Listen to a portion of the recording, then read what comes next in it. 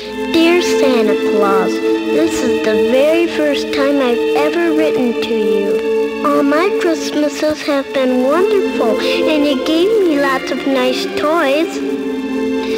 This year, Mommy says Christmas won't be the same because, well, because my big brother Tommy won't be here.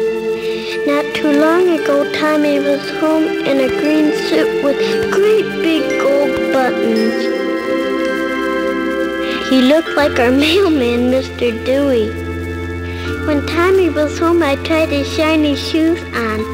They were so big, Tommy laughed, and he said it takes a big man to fill those shoes. Santa, I wonder what he meant by that. Ah, I asked Tommy if he loved Mommy, Daddy, and me, and you know what he said? He said he loved us very much, and he loved his country too. And that's why he was going away. Last week, Mr. Dewey brought Mommy a letter and made Mommy cry. I don't like Mr. Dewey anymore. When Daddy came home, he cried too. And I never, never saw my Daddy cry before.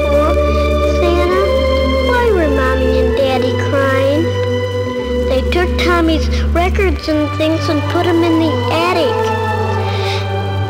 Santa, please don't you be mad at me. Mommy was when I played Tommy's favorite record yesterday. Tommy used to play one special record over and over and over. A man was talking and said, not what my country can do, what I can do, or, or something like that. I asked what that meant, but he said, it means a lot, but I'm too young to know. Tommy has a girlfriend. Her name is Kathy, but she doesn't come over anymore. I wonder why. Santa, I like nice toys and things, and you can bring me some if you want to.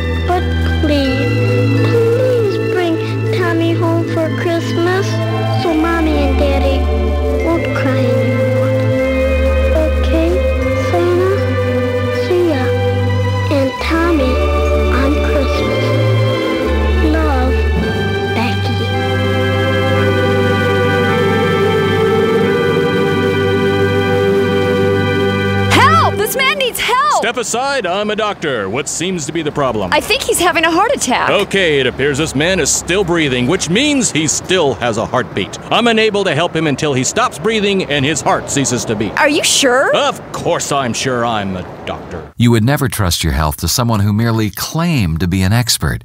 We require proof that they know what they're talking about. Is his heart still beating? Yeah. Then let's give him a few more minutes. Are you sure you're a doctor? I took an intensive eight hour course on culinary resuscitation. That doesn't make you a doctor. Have you ever breathed the breath of life into a lifeless body? No. Have you? Well, no, not yet. Give me a minute. Yet when it comes to spiritual matters, people listen to many self proclaimed experts. Jesus rose from the dead to prove his authority.